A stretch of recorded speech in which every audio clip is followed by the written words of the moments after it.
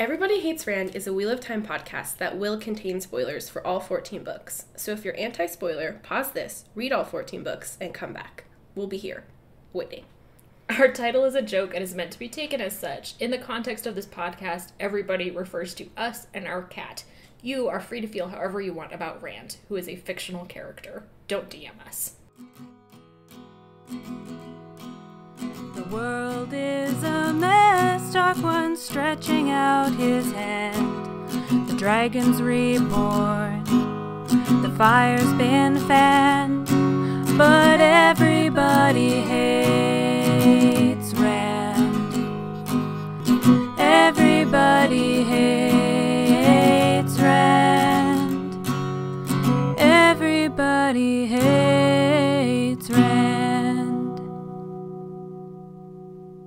Um, yeah, let's slam one out. We're running on election anxiety and cupcake fumes. That is correct. I've had a lot of sugar this week. Yeah, I made a whole ass cake yesterday that turned out um not quite as advertised, but still fine.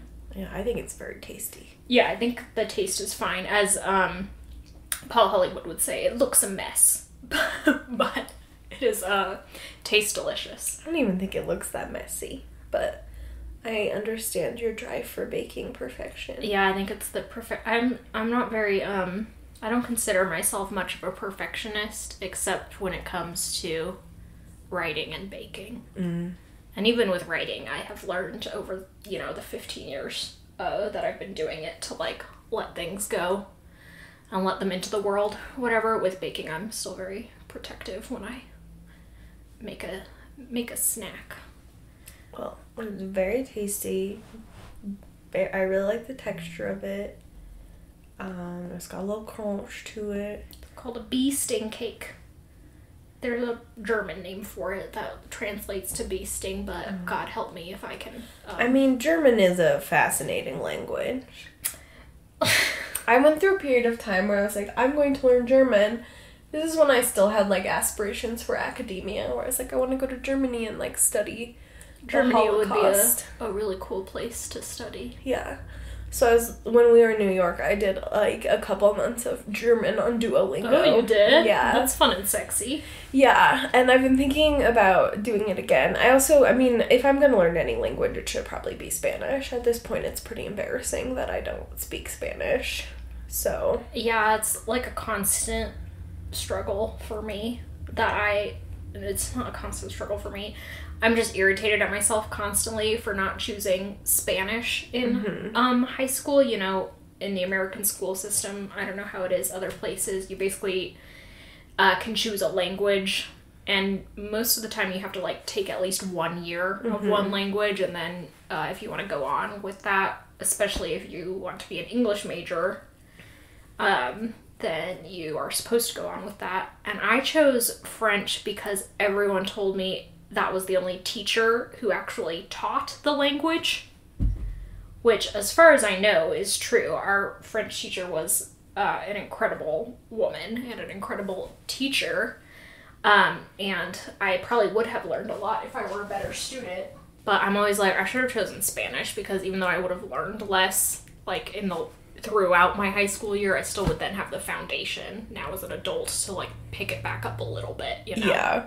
I had the same experience, but I was told to take French because the French teacher was like a lot nicer. Like the Spanish Oh. teacher had a reputation for like bullying her students and making them cry. Damn. Um, yeah, so I was like, I'm not gonna do that. And the French teacher was very lovely. And I took, I mean, I took five years of French between middle school and high school, and then two more years in college. So I took a lot of French. Do I know how to speak French? Absolutely not. No. I took the same amount of French. God bless Madame, whose last name I literally cannot recall. Just Madame. Yeah, we all just knew her as Madame. Um, But anyway, yeah, I kick myself all the time for being like, why didn't you choose Spanish? Because yeah, then you would have like when you went as an adult to learn it, you there would be a baseline for you instead of just like whatever. Anyway, one of the summers after I graduated high school, like between um, years of college, I would go back and work at Chick fil A. And one time my French teacher came in with her kids and was like, Oh my god, when do you Do you have a break soon? And I was like, Yeah, I get my lunch break in like half an hour. And she was like, I'll wait for you. Aww. and then she just let her children loose in the playground and um, ate Chick fil A with me. It was very weird and funny That's nice. because she, that just shows how nice she was because I was not a good student. And I like to imagine that I was, you know, friendly toward her yeah. um, and not bad in the sense that I gave her trouble, but what a lovely lady. She also carried twins for her sister, like as a surrogate. Listen, surrogates really are I know. doing a lot it's nuts. out in the world for the people. Um, I mean, feasibly, the only person I would ever surrogate for would be one of my sisters, but like twins, yeah. twins. She was on bed rest for forever. Jeez. This is a scintillating opening, just like last opening. Although at least this one has a narrative thread. I deleted most of. Remember what we Uh, talked about last week? We sort of just rambled about how tired we were Oh, well, that was true. and what our apartment looks like. Last week was a rough one. I deleted most of it. You guys will be happy to know. Has also been a rough one. This week has also been a rough one for entirely different reasons. I would say. I am. This is probably TMI, everybody, so I apologize. But it's winter in Utah. I mean, sort of. Um, and that just means that the air becomes like horrifically dry. And when you're going through a pandemic and hopefully washing your hands, the amount that you need to be washing your hands, your hands get really dried out. And I always have problems with my hands in the winter, but I'm having like full body issues with my skin right now, and I'm like not sure if it is actually that my skin is that dry or if it's like some weird new symptom of like what Yeah. I am dealing with health wise, and it's very upsetting. And I was like getting like a red rash on my chest. I don't know. It might just be stress too. My body might be like, we've cycled through everything. We need a new way to tell you to calm the fuck down. That's what my body does. It's like, are you feeling stressed? Would you like a rash in this trying time? I'm like, that sounds great.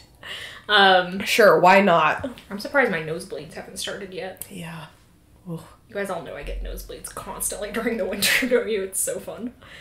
Um, by fun, I mean horrifying to everyone around me, including me. It's sad though. Nosebleeds are sad. Nosebleeds are kind of like there are people who are like, I've never had a nosebleed, and I'm like, what, Yeah, I've never had a nosebleed. bruh? I don't know. It's just like not my body. It's such like a human experience that I consider, but I guess that's it's really just a me experience, and I'm trying to universalize it No, to I feel better about it. I think it's very common. Um, my friend Brianna's mom has a blood clotting disorder, like a blood platelet disorder. So her blood doesn't like clot very easily, and she gets nosebleeds, and they're so bad that she just has to like go sit in the bathtub until they stop Damn, because she like can't use enough tissues to like stop them up. mine aren't that bad. So she just goes like lays in the bathtub, which is horrifying. But um, we are, are unfortunately here to talk about Randolph horror. So welcome to Everybody Hates Rand, your friendly neighborhood wheelie time podcast. I'm I almost said I'm Emily. I'm Sally Gudger. I'm Emily Jushaw. So used to hearing your name. I know. So I was about to be like, I'm Emily. That's Jushaw. fine. That's why we're shaking things up. Season six. You're the one who calls the shots now. Oops, I mean, sorry. that is a dangerous power to give me because I I just would talk forever about whatever. So Yeah, uh, I think that's what having a podcast is for, though. I mean, It's just, you know, give a mic to people who could talk forever about anything. But we do have a topic. And Yeah. it's the Lord of Chaos. I mean, we could be my friend's sister-in-law who literally just started a podcast to talk about her life. what? Yeah. Is her life exciting or dramatic at all? Mm, I mean, I wouldn't say that. She got married at 18 and had a whole podcast Ah. about why she doesn't regret getting married at 18 and why people should stop bullying her for getting married at 18. Stop bullying me for getting married as a child. So My child marriage is sacred. I mean, she did meet her husband when she was 16, and he was um, serving a mission in her dad's, war, I mean, her ward. So, Like he was, oh, he was literally serving a mission. He was a missionary in their ward. mm-hmm. Damn, Daniel. Yeah, and he would like come over to their house to like, you know, Hang. do missionary stuff. I'm par- and I am in I am assured constantly that nothing happened between them. They didn't even consider dating one another until he returned from his mission. I mean, it would be pretty tough. I like missionaries. I can imagine if you're a missionary and you're like in Europe or whatever, you could kind of do whatever you want theoretically if you get like a chill enough companion. Mm-hmm. But in Utah, it's like everyone's fucking Mormon. So if Oh. they see a missionary fucking around, they're gonna I be mean, like nine one one bishop. He was in Canada. Oh, this was in Canada. Yeah, so she moved from Canada. Oh. We don't need to get into this. 911 Bishop? 911 Bishop, it's my new reality show. 801 Bi- Does that even work? Yeah, Bishop is seven letters. 801 Bishop? 801 ah! Bishop. Hello, this is your Bishop After Dark. No! It's like a really. I bet there's like so much weird porn about Mormons. I 100% believe that there is too, because it's like a concern. Like, I bet about missionaries specifically. Yeah. I don't want to think about it. I bet. Yeah, I just feel like they they hit that like everyone wants to corrupt them niche. Someone, not me, but someone who has a Pornhub sc- subscription or whatever, tell me if there's like a You don't need a Pornhub subscription. You don't? Are you just googling missionary porn? No. I'm just gonna go to Pornhub. Oh, okay. It's a fun new. it's a fun new um, EHR thing. Porn. State of Utah warning: exposing minors to obscene material may damage or negatively impact minors. Well, Ooh. okay. What'd you see? Do you want to see the homepage? Um. Oh damn! yeah. Just get right to it. Just sort of like, hey, Would you like to see this? Mormons. Masturbating Mormons, bad Mormons, lesbian Mormons, teenage Mormons, fucking Mormons. no Mormon missionaries. Let's see. That those are just the suggested categories. Oh, I guess the problem with googling or porn hubbing missionaries is that you have so much like opportunity. Yeah. It's like a sex position, you know. Can you get missionaries doing missionary sex? You know. Virgin Mormon teen Dolly Lee fucked during worthiness interview. This is changing my life, but also it's probably not in a good way. okay, we have to talk about Lord Chaos. We can't just scroll through Pornhub. What's this stupid energy? I hate this blighted hellscape. We've gotten several different Of types year. of Mormon punishment rituals. Punishment rituals. Yeah, like you have you get caught doing something and so you have to have like sex with your bishop or whatever. Oh, okay. Well, that's just like typical Yeah, I mean role play with the added element. You're of right. It's your bishop, I guess. You are totally right. I have not seen anything about Mormons yet. Let's see. My bishop was my dad for a while, so Pornhub would go crazy over that one. No. We can't. You need to get off of Pornhub.com, or you're gonna be there all day searching subgenres. You're so right. I would be. Okay. Okay, Lord of fucking chaos. Um, so we start with Rand practicing swords.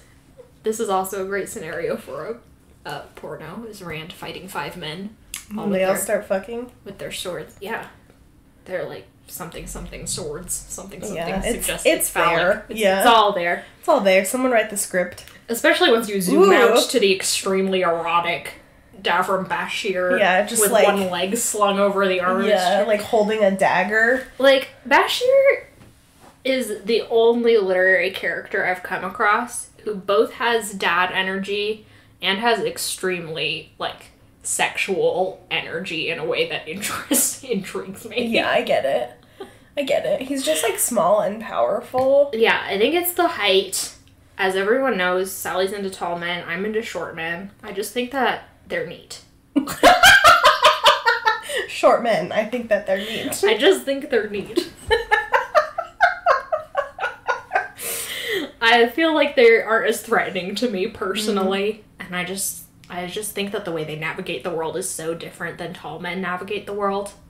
You know yeah, that's fair. that it li- it, leads to some characteristics that I typically find attractive. Um, but we don't need to psychoanalyze my sexual interests Okay. right now. We've already been on Pornhub this episode. Um, we can get back on Pornhub and look at short men. short men. How would they? Never mind. I don't want to know. Nope. Put it down. anyway, Rand has this new thing where he is paying people to come fight him um, for, I would assume, an hour or two at a time, which I think we have said this before, but for a guy who is governing three countries at this point, plus the Aiel, that seems like a an extraordinary amount of time to devote to sword fighting. Yeah, like every day. Yeah, when, as Bashere points out, he doesn't really need it. Yeah. Like, Rand, you know, fights these dudes. There's the whole, uh, a long monologue about the flowery sword forms or whatever. Is that what sword form? Are sword forms like in this world actually named in this way? Like yeah, I think so. that's so interesting. I just thought it was a dumb thing Robert Jordan did. When he's like, Like, as a writing quirk? Yeah, just as like a Robert Jordan talking about swords. Because I honestly thought it was because like Lan, who is um borderlander, Oh, yeah, like, like. taught it to him as like yeah a cultural thing, and it was like coded in.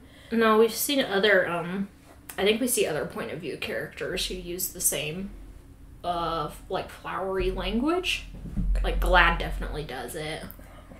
Um, But like, if I were to meet a master swordsman Yeah, on the they- streets of Salt Lake City, would would they all use the same? would I be like, tell me about your sword forms? And would they be like, it's sunlight on? In Salt Lake City? No. I mean, I know people are sword fighting. So like in, I meant like in this world, is in like Oh. our world. Yeah, I in, think like, so. Planet. I think there's two types of sword fighters in Wheelie Time. I think there's like the martial artist swordsmen who are like, it is an art and it has forms. And there are the people who are like, I just picked up a sharp object and I gotta whack other people with it to survive. Okay. That's how I feel. Like I don't think your your random soldier, your random infantrymen are gonna be like, here's my heron fucks over the water or whatever. Sunlight on the titty. Sunlight on the nipple. Mango dribbling down Mango. your rack. Oh. Um, Hate the phrase rack. I do too. It's not a great phrase for boobs. Um, but I don't know. What do I know? Maybe that's like taught to people in kindergarten. Here are the sword forms, and Rand just didn't know them because there's no go school. to kindergarten. Yeah, he's functionally illiterate. No, that's Mat. Davram Bashere is like, what books has Mat read? And And Rand's Rand's like, like, I'm sure he's read a book at some point. Can Mat read? No. Question. Hmm. Anyway, Rand is being observed. He's in Andor by a group of Andoran noble people who uh, represent, I believe, six of the 18 or 19 houses. This is going to be impossible to keep track of, but because we are a resource for you, I will do my best Okay. essentially what you need to know is that the people who are introduced in this scene and i believe who will pretty much be with rand throughout this book are the same people who uh robin slash what's his what was his alias gabriel, Gabriel. allowed to be near him throughout uh Morgase's captivity therefore they are the bad ones Okay. they are not necessarily dark friends, although I think probably one or two of them are. But they are the ones who, once Rand is kind of out of the country and Elayne is trying to secure the throne for herself, they will like lead armies against her in an attempt to gain the throne for themselves. Okay. So these ones, they'll be impossible to keep track of, but unfortunately, in the later books, they will come up a lot because Robert Jordan, for some reason, really wanted to make a big deal out of the war for succession with Elayne, which did not need to be a war. It just sort of happened because of how incompetent everyone is. But these guys are the bad ones. As also demonstrated by how gross and weird they are with Rand. They're just like, You're so great. Can we lick your boots? Will you make us queen or whatever? And Rand is like, Fuck off. Mm-hmm. Meanwhile, Bashere is like, I'm going to throw a knife directly at you. Yeah. Bashere's lounging. Mm-hmm. Again, it's extremely sexual. Um, he's like, "Why are you doing sword fighting?" And Rand's like, "Cause I wanna." And Bashere like throws a knife at him, and Rand channels to stop it. And Bashere is like, "You can do that every time. You like." It's not necessarily the same with sword. You can't rely on swords to save your life. You gotta like hone your channeling. That's the real art that's gonna save your life. And Rand's like, I'm so angry at you momentarily. But Bashere's like, I'm very casual about the whole thing. Yeah. And Rand's like, alright, I'll chill out. It's a very odd interaction. It's a very. Bashere and Rand have a weird relationship, yeah. which I think, um, I don't know, is dissected quite a bit in these two chapters as like Tem is introduced. Tame, I don't know how to, we're gonna say his name, Mazrim Tem. Yeah. Sounds good to me. um, as Tem is introduced and he is talking to Bashere and things, and Rand has sort of like a little bit of a breakdown when Tem gives him one of the seals. Um, and Bashere stops him, and Rand is like, You must have thought I was going crazy. How are you so calm? And Bashere's just like, It'd be like that. Yeah. Well, he tells a hilarious story about another Saldaean general who was batshit crazy And like made them cut down oak trees. and give them funerals. Yeah. Amazing. And Bashere's like, once until you do that, I'm good. Yeah, Bashere's just like, listen, people be crazy. Yeah. You might be crazy, but I will deal with it because you are the dragon reborn. It's just don't really have much of an option here. Mm-hmm. You know? So he's really the only one taking, I think, the appropriate route Yeah. when he's just like, it's chill. Like, he's not stupid about it. Yeah. He's fully aware that Rand might go insane and kill the people closest to him. He's just kind of like, that's sort of a risk you gotta take Yeah. at this point. Yeah. And he's a military guy. I mean, he takes risks like that all the time, so he's just so sensible in Very that sexy way. man, yeah. He's very sexy. He's also riding around. Rand tells us that all the Saldaean like generals and most of their captains bring their wives campaigning with them. That this is a traditional thing. Obviously, Rand does not improve, approve because he's a huge misogynist, but um, this is a cultural thing in many many countries, not in modern eras really, but in ancient world, a lot of the times women went campaigning with uh, the men because military camps often don't really function when they're just left to men. Um, but it, it sounds like Bashere's wife Deira is like his second in command. I know. because he's like, if I die, she takes over the entire army. And Rand's like, what? Where, really? And he's like, yeah. And you don't want that, trust me. He's like, yeah, She's she very mean. she will not like you. so you can just the whole agreement will be off. yeah. She'll be very pissed that I'm dead. Um, oh, hi, sir. hey Tybalt, come to join us If again? you scratch my chair, I will throw you out the window. Tybalt, you better not. You'll be thrown out. You would do very poorly on the streets. Just like Oliver and Company, Yeah. the Artful Dodger. Tybalt is not the artful dodger. He is not. I know. Tybalt is the unartful dodger. Fartful Dodger. that was the stupidest thing I've ever said. so good. Um, Christ. Um, can't even remember. it. There's just like it's just like a long conversation. It feels like these Yeah. two chapters. And then one of Bashere's soldiers walks in and is like, um, Tem is here? Oh wait, before that, um, Rand and Bashere are just talking, and Rand says something about like the Forsaken, Oh, yeah. and literally one of the Andor noble women just faints. Yeah. dead away. They're all just like the Forsaken, and one of the ah. Forsaken was ruling us. And Bashere's just like these wimps, Yeah.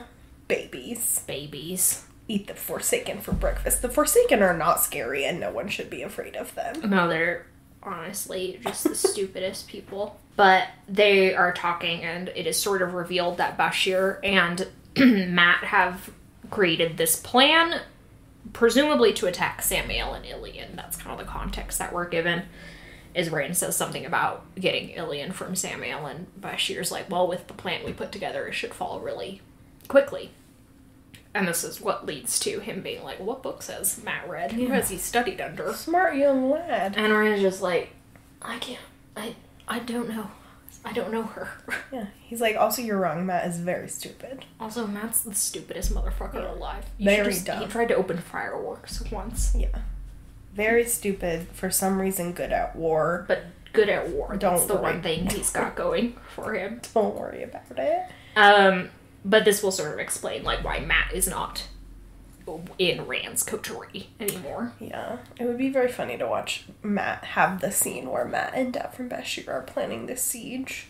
Yeah, it would have been nice. Finally, a military planning like moment that I would be interested Yeah. in watching. Davin Bashere's just like looking at him. Mostly, I just want Bashere and Mat like interacting more. I I feel really robbed of interactions that Mat might have had with uh with military leaders who are already kind of stable in their positions. Mm-hmm. Like we don't see him interact with Agelmar really until you know long after book 2 I mean, mm-hmm. book two is the only time they interact, as far as I know.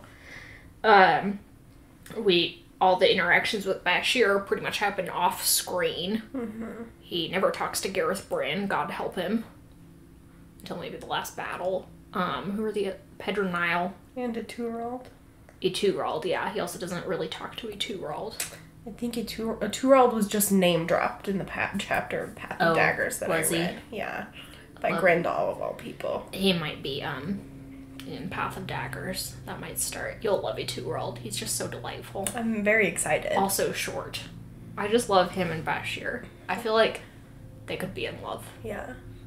They both love I mean they could both love their wives and still be in love. I feel like yeah, they could both have open marriages, and Yeah. then they could, you know, be like, we're in love. Our wives are in love with each other. yeah, ethical non-monogamy is an option, kids. God, I think that would be beautiful. Don't forget it. Um, especially because Bashere gives off like really strong bisexual energy. Oh, Yeah. It's the way he sits on a chair. It's the way he sits on a chair. It's the way he throws knives at people. It's the way he. It's the way just- he loves his horses. Yeah. I just love him.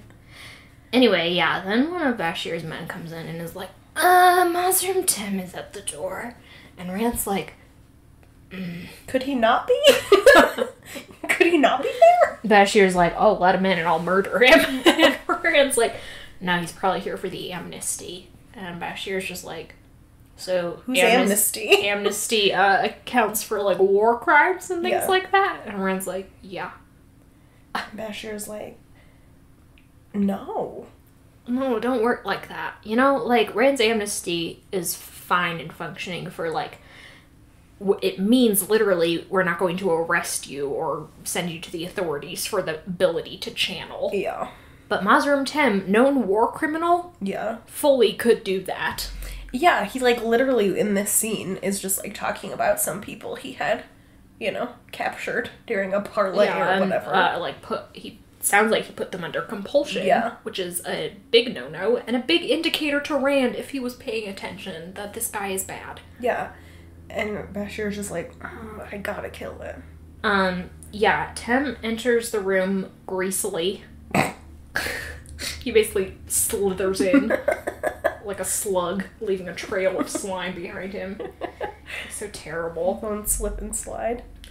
But uh, the first thing Bashere says is, You're Mazrim Tem, or something like that. Which, again, is fuel for the fire that is Robert Jordan trying to convince us that Mazrim Tem is Demandred in disguise. Um, but it is not actually unrealistic to think that Mazrim Tem and Bashere never interacted closely face to face. They were on opposite ends of a battlefield. Um, and I don't think Tem uh, Bashere was the one who necessarily like arrested Mazrim Tem. I think that was Aes Sedai. So, um, but Tem's like, uh, yeah, I shaved. What's something only you would know? Which is when he drops this info about some of Bashere's uh, men and women, because their wives were also involved, who tried to kill Tem under like a flag of parley, which you know is a no-no, but you can't really blame him. Yeah. This guy. Disgusting. And he, I guess, put them under severe compulsion and sent them back to Bashere, basically um, different people. Yeah. And Bashere tries to draw his sword, and all the Saldaean guards are like, "Ah, rah, rah," and are kind of like poking him with their swords just a little bit. Rand like has to grab Bashere to keep him from drawing his sword the whole way. Um, but he's like, "You all need to calm down. War crimes, they happened in the past, and also his war crimes were not as big as the Forsaken's war crimes. Lesser of two evils." it's fine. We should always grant the lesser of two evils the capacity to teach men how to channel. To teach men how to do those lesser of two evils. Yeah. evils. It's fine. He basically his whole argument is like this is how bad the Forsaken are, so we really got to stay like on task with murdering each and every one of them. Um to ensure that the world does not fall. And if having Mazrim Taim on my side to teach the men uh, who have come to me seeking amnesty will further that goal, then so be it. And again, this is like not logical because um, it's a little bit ridiculous to compare the crimes of the Forsaken to Mazrim Taim. Like, there's a reason we don't say, like, when someone is convicted of murder, well, you're not as bad as Ted Bundy was, so three to five years. Yeah. You know, we don't sentence people based on the crimes of other people. It's ridiculous. Mazrim Taim did bad things in his own right, of his own volition. Mm-hmm. That makes him a bad person. What, is he a redeemable person? Well, I don't know. Perhaps he could have been. Who are we to say? But he is very clearly, in this scene and throughout the rest of the books, a bad and slimy person. He has no interest in. Mm-hmm. Like, Redemption. Rand's like, you just need to submit to me and we'll all be good. And Taim's like, I'd rather not do that. Why don't we have a partnership? And Rand's like, "Ah!" Yeah. challenging my power, my manpower. My manpower. And Mazrim Taim's like, no, sir, I will not challenge your manpower. I, y- you're all submit. Rand's like, what? Rand's like, that was a quick turnaround. And Taim's like, I mean, I had to try to not be, you know, in a subservient position. But clearly that's not happening because you're crazy. And Rand's like, fair enough. Fair enough. Um, around this point, Taim is like, I brought you a present. And gives Rand the, according to Rand's own accounting, seventh seal. Well, Rand says that there are three that he knows are broken, two that are whole and he has in his possession. This one is the third. Yeah, so the sixth. And he's like, I don't know about the seventh one. We know from the last book that Nynaeve actually had the seventh one and that it is broken. Hmm. So four down, three to go, I guess, is the math. And I'm just like, I just brought this to you to just prove how devoted I am, or whatever. And Rand's like, Where'd you even get this? Taim's like, Some randos on the side of the road. And Rand's like, Sounds reasonable. right? It's like I stopped to get some water or something from a farmer, and a farmer was like, Do you want this? what? He's like, His family um, said that they'd been protecting it for generations, so they gave it to me because they thought I was the dragon reborn. And I'm like, I mean, if I if a random man claiming to be the dragon reborn stopped at my house, I would not give him my most treasured possession until he'd done like some of the uh, you know prophecies. Yeah, especially if he was greasy and disgusting Especially and if he looked like Mothra full of his war crimes. yeah. Poke him in his war crimes fallout. Just full of war crimes. I hate he's it's fine. Take a cookie cutter. War crime. War crimes shapes cookie cookie cutter. You'd just be infinite cookies out of Mazrim War 10. crime cookies. infinite war crime cookies. Stupid. Um, This episode is dumb. I know. Uh, but they have like a brief conversation about the difference between them. Like Mazrim Taim is basically like, I could have been the Dragon Reborn. No one would have known until I fulfilled one of the prophecies. And Rand's like, well, you definitely weren't born on Dragon Mount. Like, wasn't that an indicator to you that you weren't? And he's like, "Mm, prophecies are kind of loosey goosey. If I had done a different prophecy, then people would have, you know, warped the past to uh, fit what is going on. And Rand, of course, has basically fit all the prophecies to a T, so that's not really been his experience. Um, but this is just like an ongoing submission into the uh, catalog of Robert Jordan fiddling with prophecies as a theme. Um, let's see. But having given Rand the seal, Rand has been struggling this entire time with Lews Therin's voice in his head. He's hears it a lot, especially as the Forsaken come up, and he's pretty good at like compartmentalizing it, just being like, "I'm not listening to you right now." But Lutheran takes over a little bit when he gets a hold of the seal, and is like, "We gotta break it. We've got to break them all." And Rand sort of comes back to himself, realizing that he is muttering. And Davram is like holding his arms. Yeah, he's got the seal raised above his head. Remember, Rand is about six foot five. Yeah, Bashere is only goes up to Rand's shoulder, so Yeah, Bashere is literally standing on his tiptoes. Yeah. Which again, sexy. I find it sexy. Um, yeah, to like keep Rand from just breaking this. And he's like, I don't know what the. F-. He doesn't even know what it is. Yeah. He's like, I don't think you want to break that yet. And Rand's like, uh, you, you're correct, sir. I do not want to break this yet. Um, and then that's where they have their conversation about how Bashere is so casual about serving an insane person. But Rand officially gives the seal to Bashere to keep safe, which is an interesting expression of trust that he doesn't really like dissect. mm-hmm. He is not like explicitly in the text like I trust Bashere, even though everything we've seen indicates that he trusts Bashere. But for Rand, a person with such intense trust issues, and we are introduced to the theme of his inability to trust Aes Sedai. Um, also in these two chapters, because there used to be an Aes Sedai in Caemlyn, who I believe was one of Elaida's spies um, that Gaebril found immediately and took over. That was sort of a a, a, a Z plot in Fires of Heaven. Um, she immediately fled. So now there are no Aes Sedai in the city to heal Rand if he cracks his head open playing with swords, is Bashere's point. But Rand's like, well, I might have all these rebel Aes Sedai who are gonna help me. And Bashere's like, well, it's not really as good as like the actual White Tower. And Rand's like, it doesn't really matter. They're still Aes Sedai, and I still can't trust them, but I'll use them. Bashere's like, like, okay, fine. Bashere's like, I don't even care. I just want to like exit this Yeah, conversation. I would like to leave. I've only been talking to you for 30 seconds and it's already as exhausting as it always is. um anyway, yeah, so Rand is like, here, take this seal to the Dark One's prison, and Bashere's like, sure. um, and pretty much leaves. Rand's like, okay, we're gonna go to the farm. Mazrim Taim's like, what farm? And Bashere's like, I'll stay home. Thank you, though. Come see my horses do stunts later. And Rand's like, yeah, of course I will.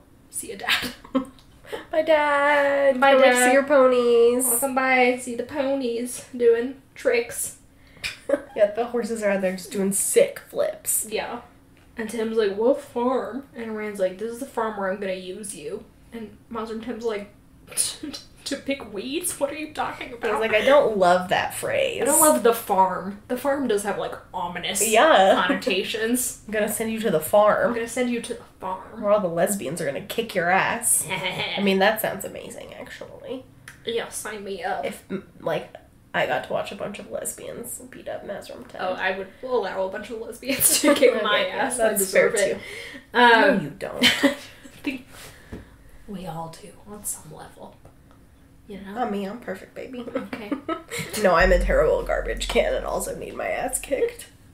So do you tipple? Especially you, Tibble. But those are those two chapters. um, it's a typical Wheel of Time opening. Not a lot is going on in the first um few chapters. This is uh let me think. The second book in a row that has opened with Rand essentially surrounded by advisors Mm-hmm. of some kind and pretty much ignoring them. He's still more or less struggling with the same things that he struggled with in book five. Um, the challenges of uh, who he trusts and how he's going to get the job done and how he's going to do it while staying sane. He finds it remarkable that Mazrim Taim is apparently sane after he estimates 15 or so years, probably channeling. Um, he says that it's been about two years for him, which again, this timeline is so wacky. I guess that makes it like three years between. Never mind.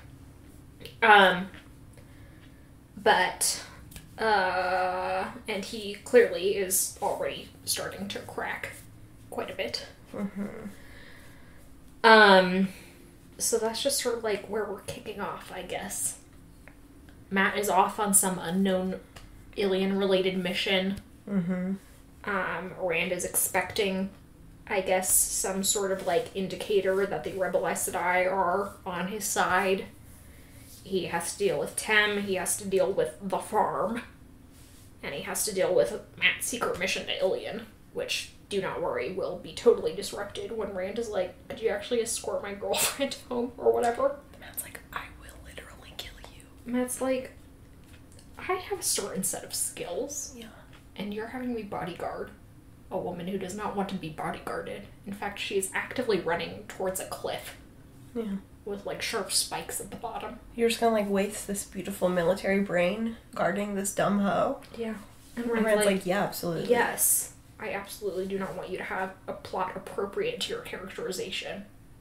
That would be silly. Robert Jordan has never heard of those. Um. Okay, I don't have anything further to add.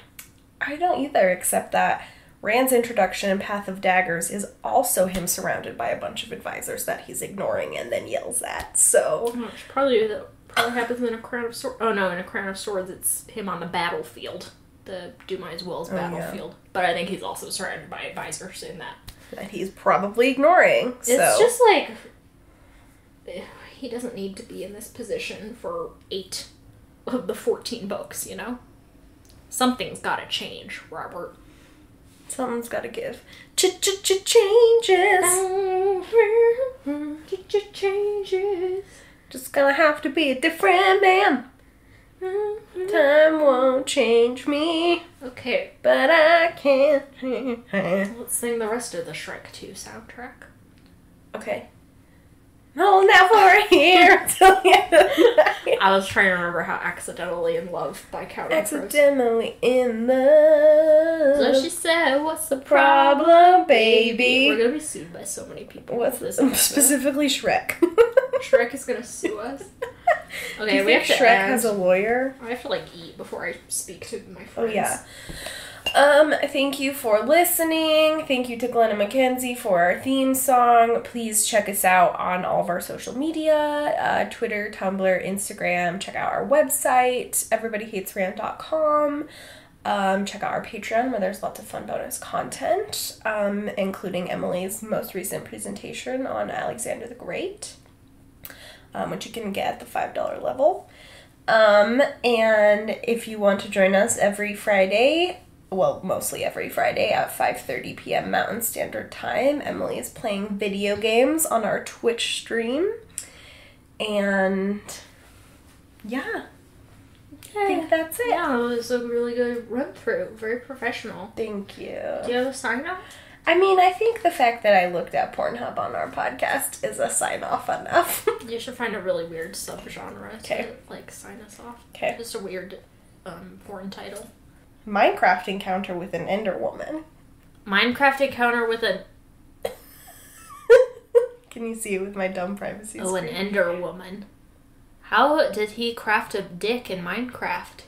Like it, we can't we can't keep doing this, Daniel. Okay, Sally's gonna keep searching for Scam angels.